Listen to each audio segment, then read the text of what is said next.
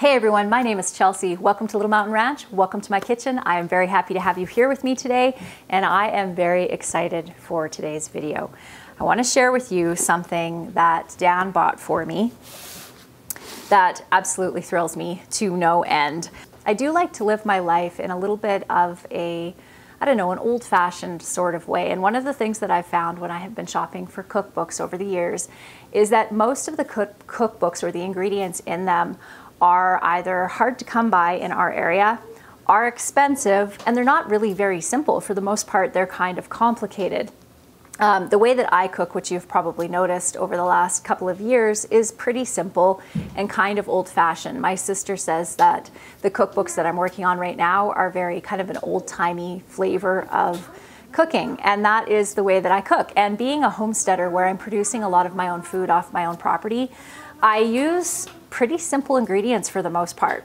Dan had this idea that maybe old cookbooks, cookbooks that were written in, say, the late 1800s, early 1900s, because people that lived during those times had very similar uh, lifestyles to us, at least in the way that they produced food or produced a lot of their own food. Most families back then had a large garden or access to markets where they could access fresh, homegrown kind of food. So Dan bought me five absolutely amazing cookbooks. So the quality of the cookbook itself, as far as how good of condition it's in, doesn't matter to me one bit. In fact, the more worn that it is, like this one, the more notes that are written on the inside, the better, in my opinion. So I want to run you through a couple of these um, cookbooks because they're just, they're so fantastic. Dan got me this book at Griner's Drugstore in Munnsville in the summer of 1917. Look at that. Isn't that beautiful? My favorite part of this particular cookbook is the suggestions to young housekeepers on economy and the use of leftovers. So I'm just going to read a little bit of this to you because it's it's pure gold. It's called Marketing Economically, and when it's talking about marketing in this context, it's talking about going to the market. It says, in order to buy economically, one must go to the market in person and see what she buys. Do not give orders by telephone or through the boy sent from the market, and do not go to the market with the intention of buying just a set of articles and no other. Take advantage of the supplies offered. An oversupply of a certain article may have a lowered price for the time being, and this is your opportunity. Do not buy, however, unless the product be of good quality and be of such character as will be acceptable to your family. Learn to market by marketing. There is no sure way to distinguish the various cuts of meat but by seeing them cut from the side of beef or lamb and then handling them yourself. Soon you will be able to know the external appearance about whether you are buying bone, fat, or lean meat, or whether the cheap cut which you plan to buy is of good quality as it should be.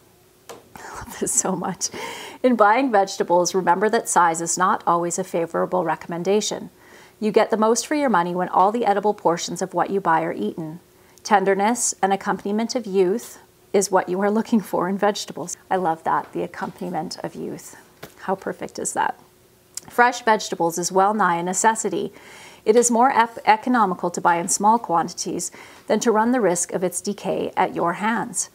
Bananas, if rather green, may be bought more generously, but they should be attached to the parent stock and removed from the paper bag enclosing them as soon as they are uh, received in the house.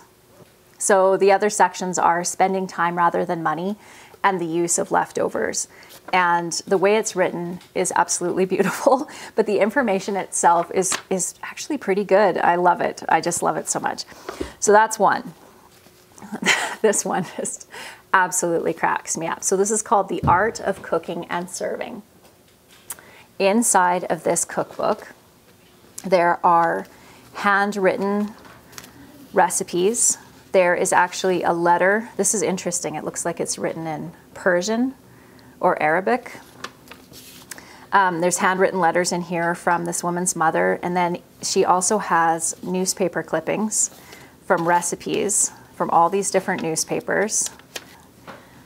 There's a really cool newspaper clipping that I wanted to show you out of that, and then I wanted to read you a little section out of that too because it's just it's just priceless. And then one of the other little treasures that we found in this one, this is canning, preserving, and pickling, 1914. And as I was flipping through this, I came across to dry herbs and mushrooms. And there was a four leaf clover pressed in the pages. Isn't that fabulous? I'm going to keep that right there. I just wanted to read to you a section from The Art of Cooking and Serving. So this, this cookbook is just absolutely thrills me. Look at a color photo in it. So fabulous. And throughout the whole cookbook, there's her handwritten notes in it. Homemakers, it would appear, are in need of a brief, authentic reference book on modern cooking and serving. Though our standards of living are higher today than they ever were, they are simpler, for common sense and new knowledge about health have shaped them. The lavish formal table, table customs of 20 or even 10 years ago now seem pretentious and out of date. With these facts in mind, this book has been written. Besides the latest information on nutrition and table service, it contains more than 500 recipes, all of which were carefully tested before they were permitted in a place here in this book. The majority of them call for Crisco, but there are recipes for foods too in which no shortening is used.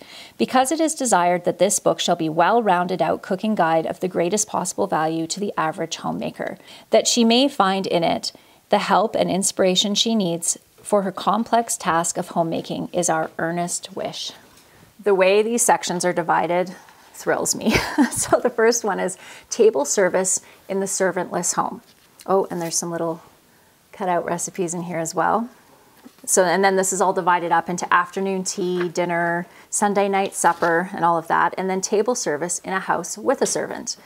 And within the section of the table service in a house with a servant, there is a photo that shows the appropriate wear for your servant morning and evening.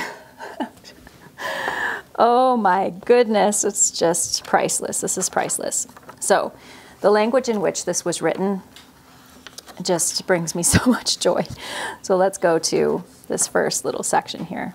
I think what I might do is take some pictures of some of these pages and share them over on my website so that you can actually see them and read through them yourself if you're interested. But I will read a couple of things because this is just so fantastic.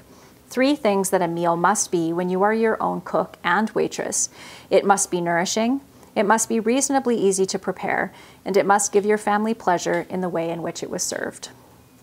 Since well bred people avoid display, especially display that is out of keeping with their means, the mistress of the servantless house does not attempt the formalities of table service observed by the richest family in town. the old proverb that advises us to bite off only as much as we can chew applies very aptly to serving. It is a sign of good taste to do only as much as we can do well and to leave the extreme expressions of style to those who have the money and the servants to carry them out. this is so, oh my goodness, Dan, are you listening to this? This is so wonderful. The intelligent woman fits her service into her pocketbook and her strengths. Certain fundamental rules she observes with the latter, of course, but beyond that, she is given wide latitude to work with her own tastes and her own conveniences. She must choose, for instance, or she may choose, for instance, to bring broiled chops to the table in a covered earthenware casserole instead on a platter instead of on a platter which matches her dinner set. But what sane person would find fault with this method when it is the only way of keeping the food piping hot from the long journey from her particular kitchen? This matter of serving hot foods hot and cold food cold happens to be one of the most fundamental rules which no woman who aspires to be a good housekeeper can make light of. It just has to be done. However, it is accomplished and it just goes on and on. So I could go through these all day with you because they absolutely bring me so much joy, but I will not and I will get to actually cooking. So what we're going to do is we are going to cook recipes over the next number of weeks out of all of these cookbooks. So we're going to take cooking these recipes up a notch and we're going to cook them on our wood cook stove so it's more authentic to the type of cooking um, appliances that they would have had back then. And I'm so excited about this. Um, one of the things that we're going to be making today is cornbread, and we're using a corn stick pan to make them. This is not something that I have ever used before, and I'm really excited to try it. So Dan is actually going to help me with all of the recipes that we're doing today. Um, out of the cookbook, we're going to use, oh, I didn't even show you this cookbook. This is the new Pennsylvania Dutch cookbook. This one's not that old. This one was, I think, 1956, but it was the only recipe book that had a cornbread recipe in it. Uh, this one's 1958. So we are going to do the cornbread out of this cookbook. So there is the recipe and I will share that down in the show notes below for you as well. So I think the soup that we're going to do today for the cornbread is going to be a corn and potato chowder. And this is actually a freezer meal that I have in the freezer. And I'll talk through a little bit about how we um, did this because I didn't freeze it with the cream or with the broth. I'm just gonna run out to the freezer and grab the soup. Just give me one sec. So all we did was we chopped up our potatoes and cooked them up with the corn, added all of our seasonings like our onions and our thyme and all of that, and then cooled it off and froze it. And once we thaw this, we will mix in cream and soup stock to make that soup. I think that's gonna be just delicious. Okay, Dan, are you ready? Dan is just doing some research over there on some of those newspaper clippings, so he'll come share what he's found in a couple of minutes. And in the meantime, I think what we're gonna do, I think we'll do the soup and the cornbread for dinner tonight. And for lunch, we are going to do some bread pudding. We'll get this all mixed up. This is a pretty easy recipe. It comes together really fast. This isn't one of the ones out of this um, cookbook. It's actually one of the ones out of mine. Um, Sandwich. Award-winning sandwiches. Yeah. but on the back, I'm going to check that. Move this there. In the sports column, which it's missing most of the article, unfortunately, but it has this thing that's happening. It says another report says third baseman Joe Stripp has been approached with the idea of making him player manager, while the name of Babe Ruth is mentioned frequently. Ruth is likely to become the number one candidate if a deal for the sale of the club to the syndicate, headed by Colonel T.L. Huston, former part owner of the Yankees, goes through. Okay. So you can look up in history and see that it sold. Yeah. And sold his interest in the Yankees to Ruppert in 1923. So this is probably 1922. And it's Babe Ruth. That is so. when he was still playing for the Yankees, that's when this was all cut out. Oh man, that in is 1922. That's 100 years old. Wow, and look at what excellent condition it is. So cool. Okay, we have to make every single one of these recipes. This should actually go in like a we should frame, frame it or something. Or something. It's, All the phone numbers are four digits, and this is. Um, so this is like when operators were managing the calls and putting them through, right? Yeah. Like the telephone number is seven eight two one. That is or so two three cool. six one sous chef ready. Okay. you need your tools like you did earlier today. See my tool belt? he stuck his tool. he stuck his cooking tools in there. Definitely need those. Okay. Um, so let's start with the bread pudding, which I actually have as a recipe on my phone. So I have 24 cups of chopped bread here. Okay, you need to grab three cups of raisins. Oh, bless you. Just tell me what to do. Okay, three cups of raisins from down there, and we'll throw that into here. Okay, so we are going to make two large pans of bread pudding. We are going to do, I am going to put this cookbook just out of the way so that I don't wreck it with our cornbread recipe.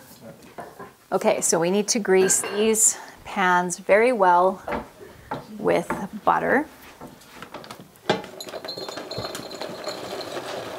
So into this, we are going to add a dozen eggs. So this is obviously a huge batch, so you can have this. Uh, we need 10 cups of milk.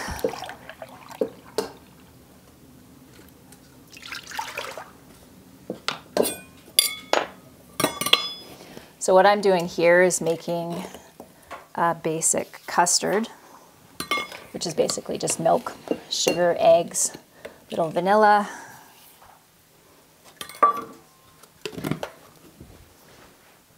Bring me anywhere.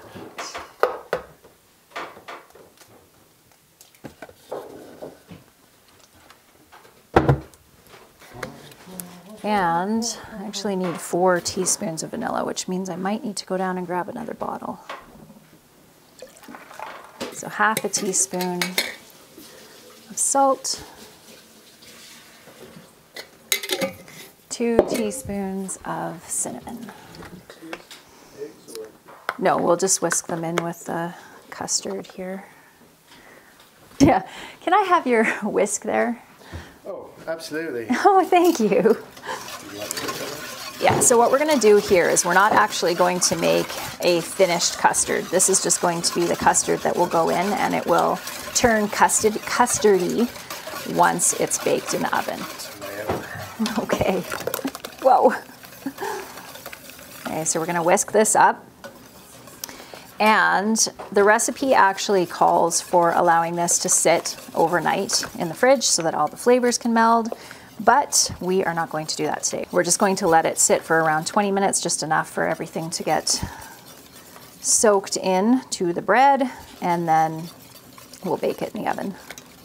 Okay, so do you want to put, you can mix the raisins in with that bread, and then you can just put the bread in the pans.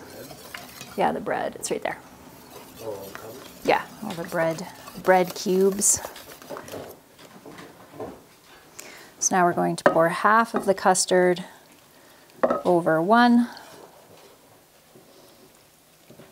half over the other.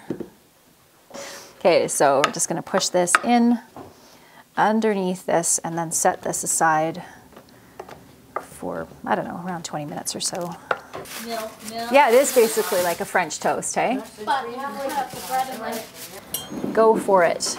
Okay, so while you're doing that, I will get started on the cornbread recipe. Okay, so we need a half a teaspoon of baking soda. That's baking powder. Would you mind grabbing the baking soda from down there? Thank you. Oh, okay, oh, so Dan. this, yeah, look at you go.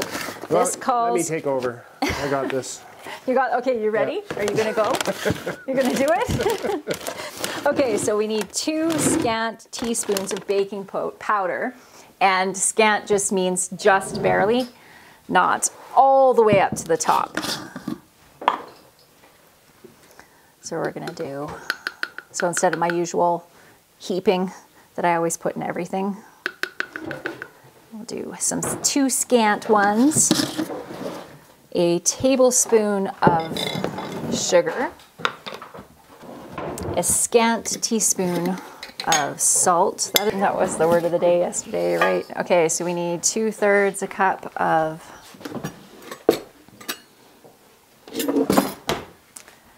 of corn meal. Did you get the baking soda? Do you want to put a? Um, we need a half a teaspoon of baking soda.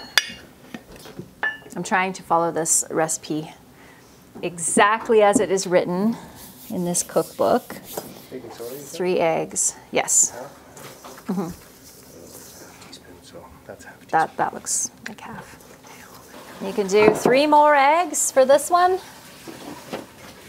It's a good thing we have lots and lots of eggs right now. Okay, so we need a cup of sour milk. So what I do to sour my milk is I do one cup. You can use buttermilk too. And the sour milk that I'm going to show you is a substitution for buttermilk, which you can use in any recipe. So we have our cup of milk, and then we are going to add in a teaspoon of vinegar. And the acidified milk, which is basically what you're doing by souring it this way, reacts with the baking soda, and then that helps to give you a fluffier bread. Okay, Martha needs a load here, so we want her nice and hot for this cornbread.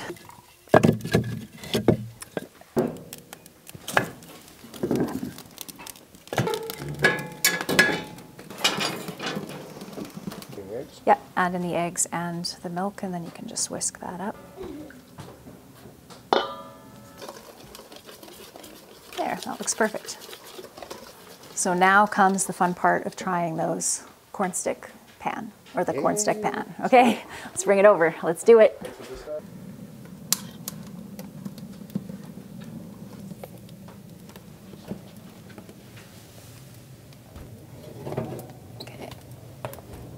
In along the side of the stove here because I know it's the hot side. Okay, we're gonna do a little bit of a tidy on this and then get our soup going on the stove so that everything is ready at once. And if this recipe that we are using out of this cookbook doesn't work for the corn sticks, Dan was saying when he was looking this up earlier that there were actual recipes that are called corn stick cornbread recipes that are designed specifically for that type of um, baking pan. But I think this one will work. I think it'll be fine. I just don't know if my cook stove is going to get hot enough because it should be around 400 for cooking with those pans. I'm just going to take our frozen soup and put it over here on Martha. And this side of the stove over here where the firebox is is the hottest. And since this is frozen, I'm going to put it up over here so that it has a chance to thaw. And then I'm going to add probably three quarts of chicken stock to this and a quart of cream. So we'll let, I'll put a lid on that too so it heats up a little bit faster. Dan's just doing some more research on these cookbooks, but he's not mic'd up. So just one second, I'm gonna grab the cookbook and share with you what he was just saying. So this book is, this is the one that was um, published in 1916 and given to the woman whose writing is in here in the summer of 1917. So the United States entered the war, the First World War, in April of 1917, which would have been just a few months before she received this cookbook. The connections to history is just so amazing. Okay, so we definitely could fill these up a little bit more. But they have brown, so let's go see if we can get them out. I'm skeptical about being able to get these out of here. So the question is, should I just try to flip them or should I try to take them out? I feel like maybe I should try, I'll try one with a fork first. You guys have to let me know if you have ever had these before or ever used one of these pans. Apparently they're, they were very popular in the South, which is not, I don't think, lots of oil, and yeah. Don't think we have enough. Oh no, they're okay, but they definitely could be crispier. Yeah, I don't think I used enough oil. So more oil next time. Not the best. First batch, First batch was not a success. a learning curve. Yeah, exactly. I bet you they do taste good. Yeah. Okay, way more oil. We are not going to be discouraged. We are going to give it another try. I'm going to treat this the same way that I treat all my cast iron. I don't use soap on my cast iron, although I know many people that do. I just don't. And I usually, if things are stuck on like this, I might set it in the water for no more than five minutes and then it usually just peels right off. A lot more, yeah. Actually, why don't you put the oil in them? Because I'm just gonna heat it up on the top of the cook stove over there. I'm just gonna add another tablespoon or so of sugar, and it does say that in the recipe, but if you want it to be a little bit sweeter, add a little bit more sugar. We could use, we could do lard. Like that's really old school. That's kind of the way they, what they would have used. Yep, I have lard. That's what they would have used originally.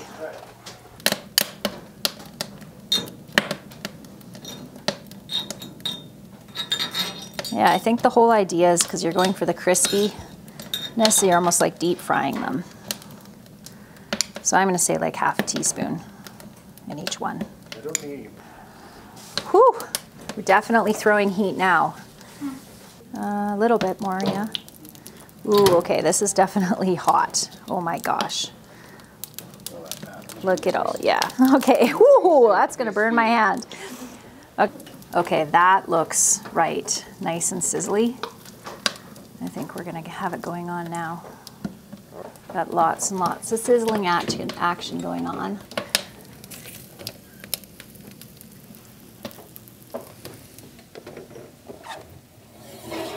Okay, that looks better. Quite a bit darker.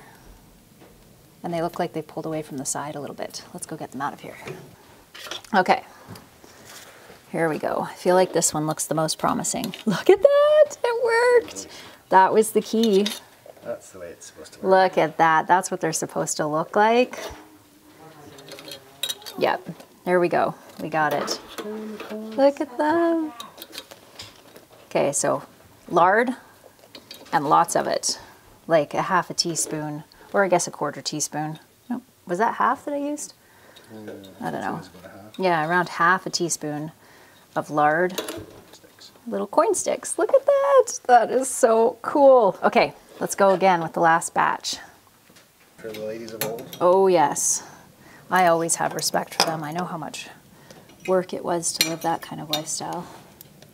I did That's- do it once. Yeah, we did once. Yeah, Dan and I actually um, lived in a house, an off grid house with hand pump water for a year. It was an amazing experience. I absolutely loved it. I really wish we could have afforded to buy that place. It was so cool. Okay. Whew, my goodness.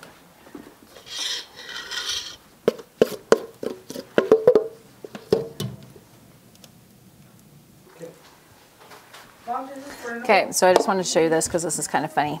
This is leftovers from when Dan and I went out for dinner last night. It was our anniversary. And this is what I'm going to eat for lunch, even though I have all this gorgeous homemade, home cooked food everywhere. So, the trick to cast iron with wood cook stoves is a lot of heat and a lot of fat.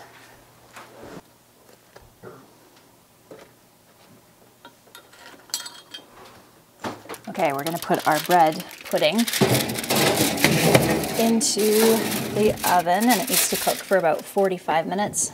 And I'll show you what that looks like when it's all done. What it said in the ad was Old South Arkansas Family Estate was where we got the, um, the corn stick pan from. Sadly, we don't have a family name associated with it, which is too bad because I really love like the family history part of antiques. But it is still very cool. Pardon me? It's a number 273 Griswold corn stick pan. So it was made in Erie, Pennsylvania. That's where all the Griswold uh, cast iron products were made. We have a little bit of a change of plans when it comes to lunch. We're going to switch things up and have the soup and the corn sticks for lunch. I added two quarts of um, chicken stock to this and then just under a quart of cream. Okay, so this is what our soup looks like and it smells really good. I'm just gonna give it a little taste to make sure I don't need to add any salt to it. Um, I think I'm just gonna leave salt and pepper adding to each, excuse me, each individual person because it tastes pretty good to me. Potato chowder is so yummy, isn't it? Okay, there we go. And then we'll get some corn sticks for you guys.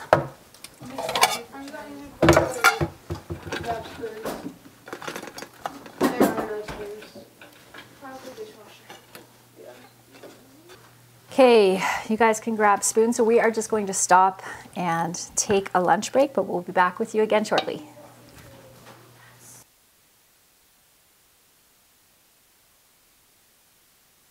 There is the bread pudding, and it smells absolutely delicious. Um, one of the things you can note though is that on this side it's a little bit too dark, and that was because that was the side that was facing the hot side of the oven. And one of the tricks with cooking on a wood cook stove is to make sure to constantly be turning your pan inside the stove because one side is obviously a little bit hotter than the other. But I think it cooked that up quite well. So Dan and I have been going through these recipes again because we're a little bit obsessed. They're so awesome. So this one, I think I showed this earlier. I think that this is Arabic. So I've taken a picture of it and I'm going to put it up on the screen. And if any of you read Arabic or recognize what language this is and are able to translate it, if you could let us know in the comment section, that would be absolutely amazing. So on the back of this is a recipe written and it is actually a check. Can you see that? From the Ithaca Trust Company in, from Ithaca, New York. And then on the side it says 192, so you can put in the year for the 1920s. Oh, it's just the coolest thing ever. And this is another one that I absolutely love. So this one is called Bunny Beef in various ways. And it says, I'm gonna need my glasses. Hold on one second. So bunny beef in various ways. There is not a boy but likes the fun of hunting rabbits when the snow is on the ground. Sometimes the country boys bring them in by the dozen, great big fat ones. A few years ago, housewives seldom cooked rabbit meat. They were fed to the hens, the dogs, or left in the fields where the boys killed them. However, the high prices of meat products and the shortage brought on by the war has increased or has induced cooks to study different ways of preparing rabbit meat, so that now bunny beef comes to many tables quite often through the cold months when rabbits are fat and at their best for table use. And then it goes on, um, tells like about what to do with skinning and after skinning, emptying and washing, all of that. Um, fried rabbit, steamed rabbit, rabbit pie, stuffed rabbit, rabbit croquettes, rabbit sausage, and canned fried rabbit and canned stewed rabbit. This one is from December 27th, 1919. That's incredible. Oh my gosh. Southern Waffles. And this was typewritten on an old typewriter. Yeah, we should try this when we have waffles. Yeah. Let's try that. Okay, we'll do that. The next time that we make waffles, we'll make the Southern waffles. From and one of the other things that we learned from that cookbook is that there are notes in there from the woman who um, was the cookbook was given to, so back in 1917. But there's actually handwritten and dated recipes from 19. Did you say 35 or 39? Um, by the same woman. It's because the hand the handwriting is the same. So she had this cookbook and used this cookbook for a very long time, and then it was probably passed down to her children and so on until somehow it ended up in my kitchen. This one was, what year was this one in? I think this was 1914. A canning book from 1914. Oh my gosh. Obviously, the recipes in this cookbook probably aren't considered safe by modern standards, but I've been canning long enough that I'll be able to work through some of the recipes in this cookbook and make sure that I do them safely. But this is just so cool. Sweet potato butter, sun preserved cherries, strawberry jelly, mulberry jelly, marmalade, muskmelon preserves. Oh my goodness, these books are such treasures. Okay, so we are going to make this recipe. This is applesauce cake. And I just want to see if I can figure out the woman's name because I do believe that there was a letter in here that was signed Mother. So I'm going to guess that whoever it was addressed to was the woman whose cookbook this was. Oh, here we go. Her name's Betty, Dan. Nine, okay, so it says, Dear Betty, Tuesday evening, November 11th, 1930. Later in the day today, and this letter was not mailed, Bernice says that she will get me some stamps tomorrow. I want to tell you about two dishes. Man, this is so hard to read. Cook some potatoes and mash them. Remember, something was given to Jill.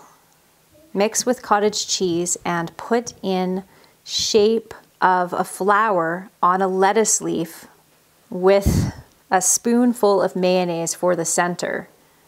Then with three cups of boiled rice, make cream sauce out of one part milk, one heaping teaspoon of butter, and one heaping teaspoon of flour.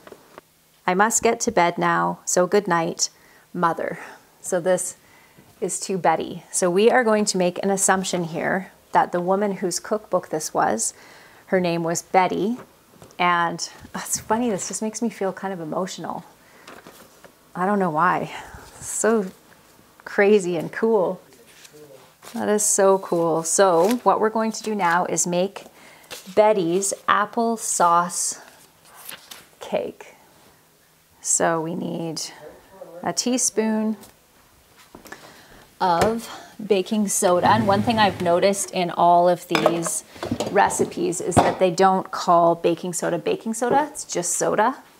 Butter, lard, or Crisco, and almost all the recipes in most of these cookbooks call for Crisco. And I actually even remember that from when I was a kid where Crisco was like a main ingredient that was used all the time.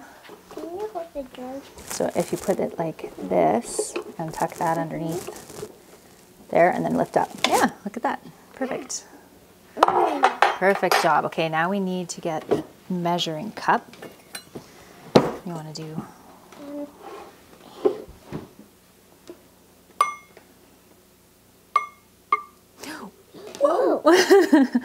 That's okay. Yeah.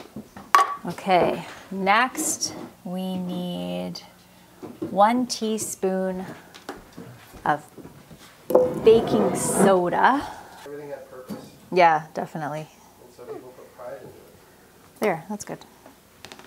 Okay, two of those.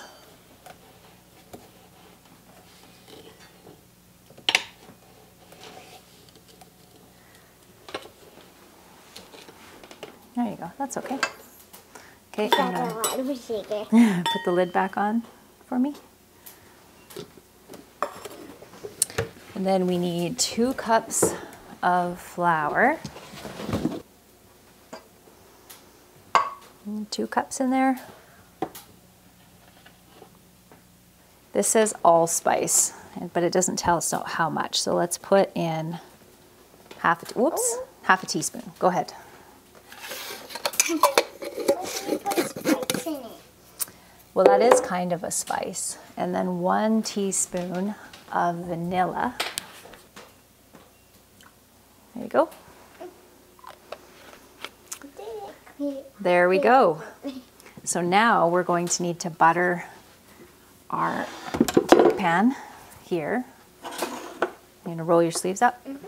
and get your hands in there and mush that around. Nice work. If you use your fingers like this, smear it up the side. You want to try to get the whole thing really well covered. Now I'm going to assume, although it doesn't say, that we're going to bake it at 350. Let's just use this to scrape this off and then you can use that for licking the bowl, okay?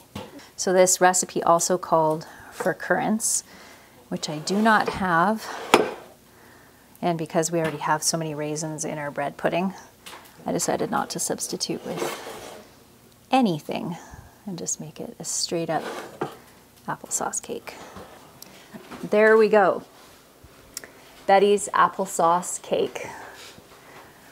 So cool. Okay, I just put this cake outside so it could cool off quickly.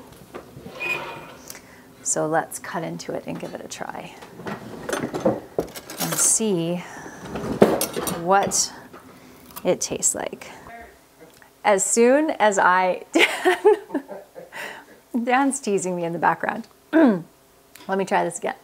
As soon as I bit into this cake, it reminded me of my paternal grandmother and eating food at her house. So she must have made a cake very similar to this because the memories are so strong of what her house looked like. So I'm actually going to call my mom and see if my grandma did make a, a um, a, a cake like this, like an applesauce kind of cake. I'm always amazed by how strong memories are for me associated with the smell of food cooking or the flavor of food cooking. It was such a huge part of my childhood, so it makes sense, but it's good.